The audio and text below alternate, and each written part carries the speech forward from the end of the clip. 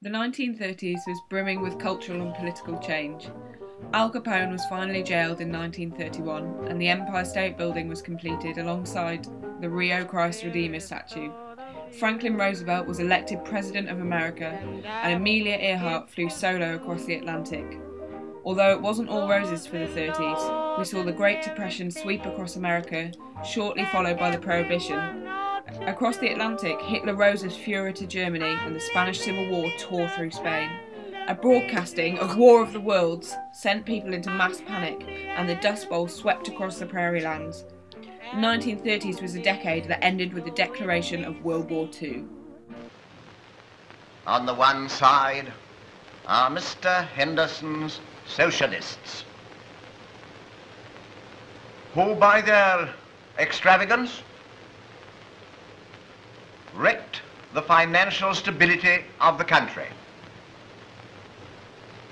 And when faced with the responsibility of taking the necessary measures to save a crash in the value of the pound, which would have brought suffering and privation to all classes in the country, deserted their post through fear of the consequences and left it to those who were prepared to put country before party to rescue the nation from the impending disaster.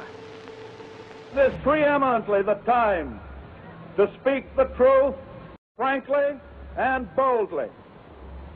Nor need we shrink from honestly facing conditions in our country today. This great nation will endure as it has endured, will revive and will prosper. So first of all, let me assert my firm belief that the only thing we have to fear is fear itself. Nameless, unreasoning, unjustified terror which paralyzes needed effort to convert retreat into advance.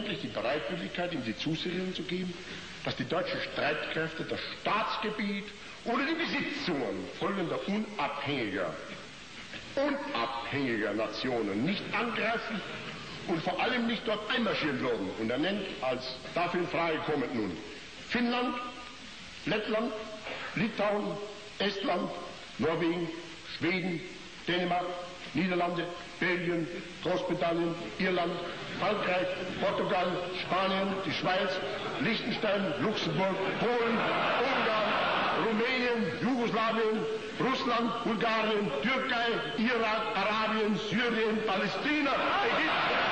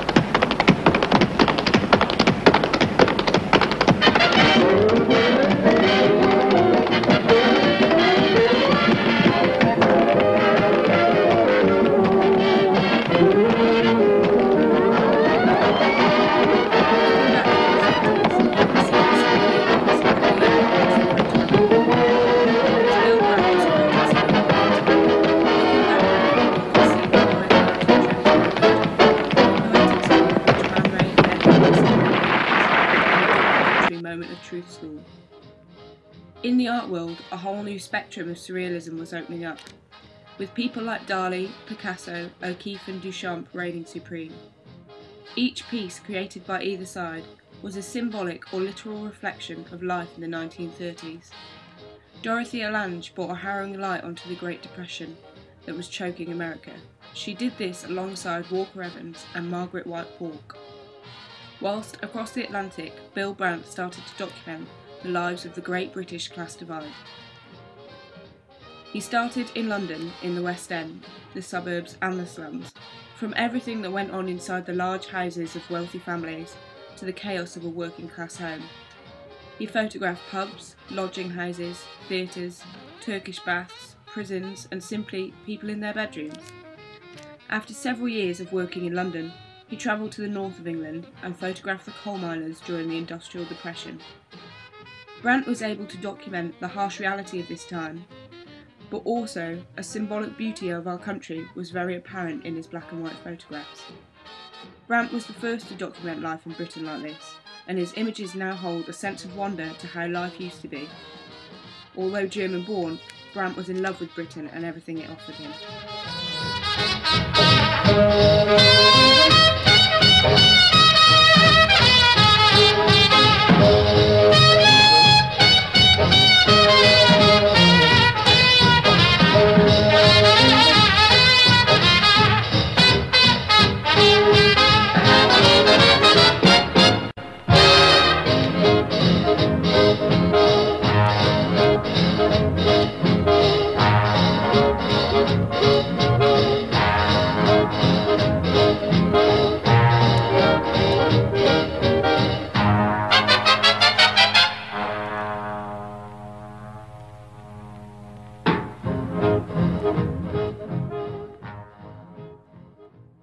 By the end of the 1930s, Brandt had compiled a collection of images that would go down in the history of photography as some of the greatest documentary photography seen to date. Now, it wasn't all gritty truth and serious faces in the 30s. Surrealism was roaring through the art world. Although it started in the 1920s, it seemed to evolve in this new century, and Max Ernst, a forefather of the movement, left his mark, starting with an appearance in L'Age Noir. Created by Buñuel, L'Age Noir was an attack on bourgeois society and the Roman Catholic Church. The plot loosely focuses around a man and a woman who are passionately in love, but their attempts to consummate their passion are constantly thwarted by their families, by the church, and by the bourgeois society in general. Max Ernst made an appearance as a leader of men and marked his entrance into the 1930s. Ernst went on to produce a graphic novel called Une semaine de bonté. It was completed in 1933 and came in five books. Each book represented a day and an element, with the fifth and final divided into three. No full interpretation of the graphic novel has ever been published. The book has been described as projecting recurrent themes of sexuality, anti clericalism, and violence by dislocating the visual significance of the material to suggest what has been repressed. Although by 1934 Ernst would invest his artistic genius into this realm of sculpture, influenced by Albert Giacometti, he created an original writing characterized by a search for forms impregnated by multiple influences of his pictorial research. His main focuses were African masks, his passion for birds, and the game of chess. Ernst loved to work in bronze. In his hometown of Brühl, there sits in his museum two of his major works, The Capricorn and The King Playing with the Queen. Ernst had a passion for chess and had been quoted saying that he thought chess is a living sculpture where the forms of each piece confront in a metaphysical dance. So from the same century came two opposing forces, sharing only the fact that they were both born in Germany, something Brandt would later go on to deny. Two men created beauty within the social and political chaos of the 1930s, and Ernst found love with Dorothea Tanning in 1946. They wed and moved to the south of France, whereas Brandt never married but preferred the solitude of his own company, sadly passing away in London, where it all began in 1983.